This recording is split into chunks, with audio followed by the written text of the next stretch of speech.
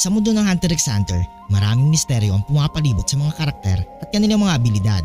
Isa sa mga pinakakaibang karakter ay si Nanika, ang nakakabatang kapatid ni Kilua na may kakayang tuparin ang kahit anong kahilingan kapalit ng mga kakaibang kondisyon.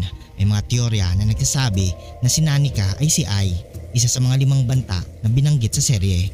Narito ang detalyadong paliwanag kung, bakit maaaring si Nanika nga ay si Ai. Unang-una, mahalaga munang maintindihan kung ano ang limang banta. Serye, pinakilala ang 5 threats bilang mga nilalang o bagay na sobrang delikado at mapanganib sa sangkatauhan. Isa sa mga ito ay si Ai na halos walang impormasyon ang nakalap. Dahil sa mga kakulangan ng detalye tungkol kay Ai, nagbukas ito ng pinto para sa iba't ibang teorya. Kabilang na ang posibilidad na si Ai ay si Nanika. Pamilyang Soldic lalo na si Silva at Sino ay may koneksyon sa Dark Continent. Maraming teorya ang nagsasabing maaaring galing sa Dark Continent si Nanika.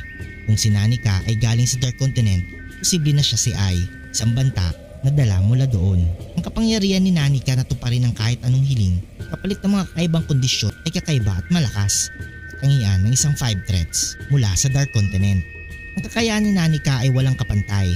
Kanyang tuparin ng kahit anong kahilingan mula sa pagpapagaling ng sugat hanggang sa pagbuhay ng patay.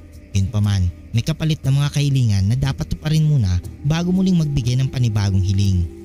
Kaya ang ito ay napakalakas at mapanganib katulad ng isang banta mula sa Dark Continent.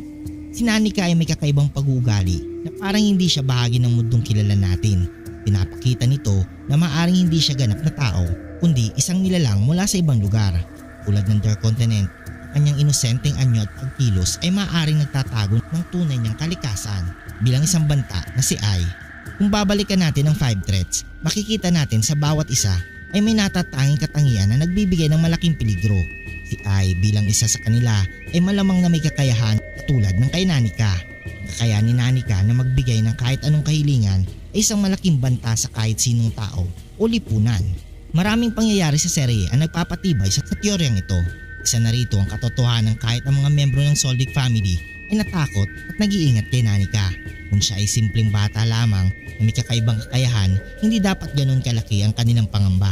Ngunit dahil siya ay isa sa mga banta mula sa Dark Continent, mas nauunawaan natin ang kanilang pag-iingat.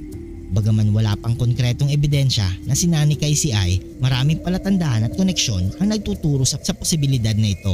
Ang kanyang kakaibang kakayahan, koneksyon sa Dark Continent at ang takot ng mga nakapaligid sa kanya ay nagpapakita na siya ay maaaring isa nga sa mga 5 threats. Sa inaharap, maaaring magkaroon ng karagdagang impormasyon na magpapatibay sa teoryang ito.